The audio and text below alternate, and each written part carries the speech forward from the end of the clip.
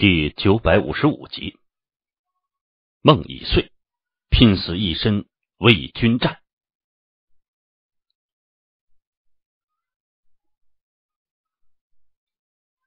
初晨，我今生最大的愿望就是与你一起看一场雪。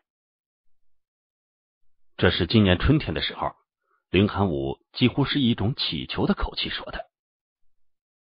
当时叶初晨回答。好啊，等下雪的那天，我为你完成这个心愿。当时叶初晨的神色很宁静，隐隐有些歉意。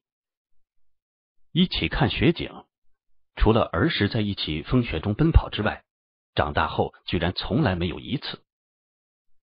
长期生长在冰雪之巅，几乎四季冰雪覆盖的林寒武，成人之后今生最大的愿望。居然只是与心爱的人一起看一场雪，从满怀希望到慢慢的失望，再到隐隐的希望，再到隐隐的几乎不敢出口的试探，再到最后歇斯底里的当面提出一个绝望的要求，叶初晨终于答应。那时候。叶初晨只是单纯的想为一直照顾自己的韩武完成这个心愿，别无他意。林寒武知道，但林寒武不在乎，所以这次万药大典，家族药师本来不是他，但他坚持前来，一定要来。曾经想一起看雪的时候，我会跟你说，这雪花中蕴含着多少传奇，这冰天雪地里。有着多少梦想？我是如何在雪中练习？我是如何在雪中参悟？曾经想一起看雪的时候，我会告诉你我有多喜欢你。我对你的心就像这雪，洁白无瑕，一尘不染，却连接了天和地，充斥了天与地。曾经想一起看雪的时候。我会跪倒在这天地的精灵里，用苍天赋予的我最喜欢的银装素裹的天气，用最诚挚的心向你求婚。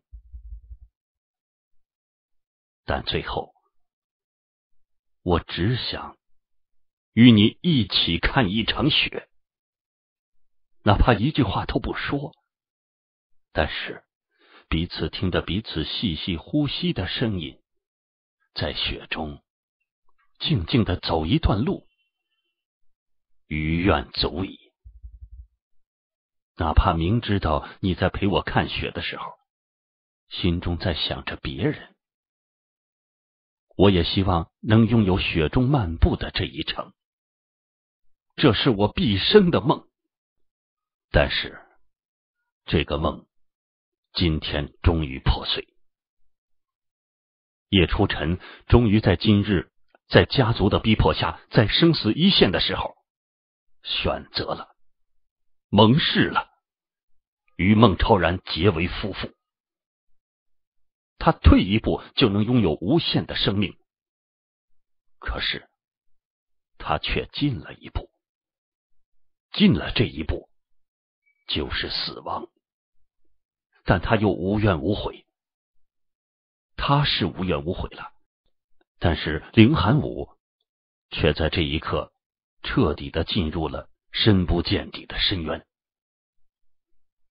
挚爱之人已经成了别人的妻子，好友的妻子。之前虽然知道他迟早会成为别人的妻子，但毕竟还不是。但是现在。身份变了，虽然只是一个名分，但妻子与一个自由的女人是不同的。林寒武若是邀请一个别人的妻子在雪中漫步，连他自己都会觉得不对劲儿。现在漫天飞舞的洁白雪花，每一片都像是对林寒武这十多年心愿的讽刺，每一片。都击碎了他的心。我期盼已久的事情，终于到来的时候，给我带来的却是绝望。这种感觉让林寒武的心中大起大落。前一刻，整个人如同站在火山口被烧烤；下一刻，浑身便如处万年玄冰之中一样冰凉。林寒武感觉到自己的思维瞬间就爆炸了，心情一瞬间就飞上了夜空，猛地爆炸成了漫天星辰一般。叶家宣布动手，但叶家还没动手，林寒武却在这一刻率先动手。初晨，虽然你不爱我，虽然你成不了我的妻子，但是，且看我用我的生命。为你搏一个你希望能有的幸福的未来，要杀他们，先杀了我！林寒武歇斯底里的大吼一声，蓦然暴起。孟歌吟，我对得住你，希望你莫要辜负了初晨，你莫要负了他。林寒武白衣如雪，长剑如银，他神情迷乱而又疯狂。在风雪中暴起，在迷蒙之中舞动，在天地苍茫中杀人。这一刻，林寒武状若癫狂。这个变故让所有人都大吃一惊，谁都没有想到林寒武会突然疯狂的杀出来。包括早已察觉林寒武到来的叶家的几位至尊，林家与叶家同为九大家族，一向交情不错。这次又是同一个目的，谁会想得到林寒武会突然出来杀人呢？林寒武势如风虎一般冲进黑衣人群，手臂猛地一震，这一震用力之强，竟然将他身上所穿的白衣猛然炸裂，长剑砰的一声绽开了千万朵雪花，带着无边的狂热杀机猛地刺出，三个黑衣人几乎在错愕之中就已经中箭。身子打着旋转，喷着鲜红的雪花，跌摔出去。林寒武的剑已经又刺入另外两个人的心口，抹上了另一人的咽喉。勾引，带出尘走！林寒武疯狂的叫喊，长剑在他身周直接就化成一团带着血色的光圈，势不可挡的冲进了包围圈里，然后一个转身又冲了回去。跟上我，带出阵走！深沉的绝望一下子冲击了他，心爱的人与他心爱的人既定终生的刺激，让他的心彻底粉碎。心爱的人遭遇的重大危机，却在这一刻将他的血液完全燃烧。这一刻，林寒武自己都不知道自己在做什么，他自己都不知道自己在喊什么。在这样的狂乱中，他的一颗心却诡异的自觉如同冰雪一般。竟然觉得无比冷静，往昔的记忆就这么如此清晰的涌上心头。初晨，八岁时我说过要保护你，不让你被人欺负；十五岁时我说过要照顾你一生一世；十九岁时我说过我要成全你。初晨，一直到现在，我说。我要将你想要的幸福带给你，我给你你的幸福，哪怕付出我的命，你一定要幸福，你一定要幸福啊！他的心中在追风掣电一般的速度播放着往昔在一起的点点滴滴，但他的口中这一切却什么都没说出来，他只是疯狂的舞剑，疯狂的杀人。疯狂的往外冲，凌寒武仰天咆哮，长空密密麻麻的风雪中，他似乎化身为雪，随着凄厉的北风一起翩跹，疯狂起舞。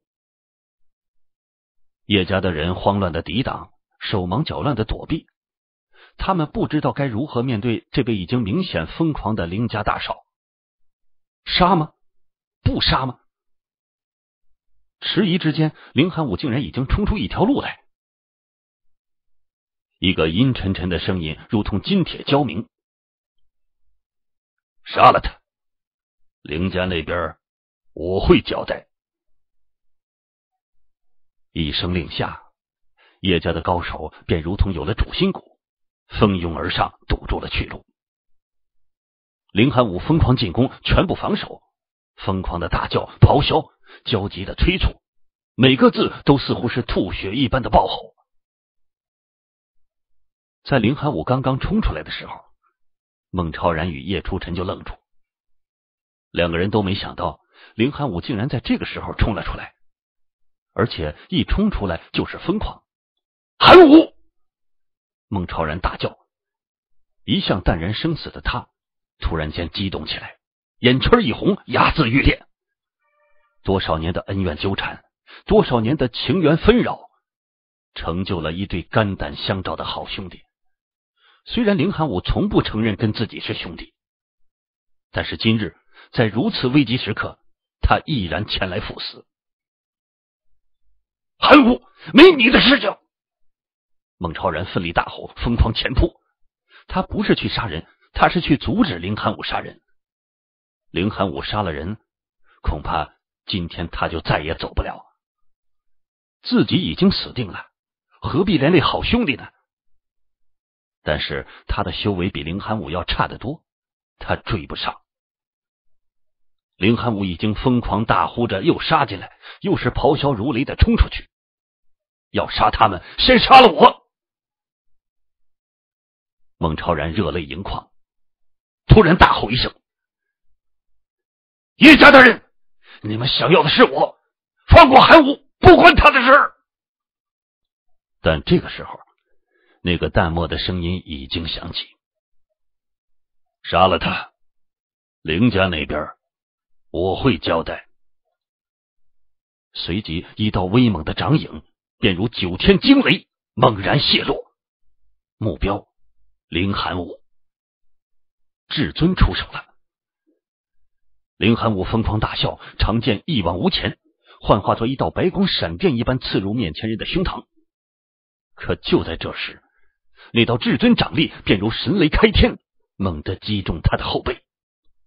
林寒武浑身一颤，随即他身形定住，想要回头看看，但是，一扭头，身子就瘫软了下去。三品至尊的一掌，让他的脊椎完全碎裂，五脏完全粉碎。这一掌粉碎了林寒武所有的生机。哈，寒武！孟超然拼命的冲上来，叶初晨与他并肩闯来，面纱在风雪中飞扬而起，露出一张绝色俏颜，此刻却充满了悲伤哀痛。也不知道是什么力量支撑两人，两人居然闯到了林寒武身边。面对刀剑如林，叶初晨挺身而出，迎上了刀剑。我要他教我们。让我们跟他说说话。叶初晨的声音哽咽着，身子颤抖着，他的眼中似乎有一股疯狂的火焰在熊熊燃烧。他语声坚决，不容置疑，却透露出一种出奇的淡然，一种心如死灰的淡然。叶帝阴沉的声音淡淡说道：“让他们过去。”看在凌风云的面子上，让你们最后说说话。但是在他这句话之前，孟超然已经不管不顾的冲过去，一把抱住了林寒武。林寒武的神智已经开始散乱，他的瞳孔已经开始放大。三品至尊的一击，远远不是他这位七品圣级所能承受的。但是他的眼睛在看到孟超然的这一刻。突然又奇迹一般的凝聚，眼神中露出了焦急。看我做什么？不走！他在咆哮，但是声音却小的可怜。我先送你。孟超然深深的吸气，轻轻的吐气，唯恐惊扰了自己的兄弟，唯恐用力大了，震走了自己兄弟最后的生机。我送你，喊我。今天我们一起走。第九百五十五集到此结束，欢迎大家继续收听。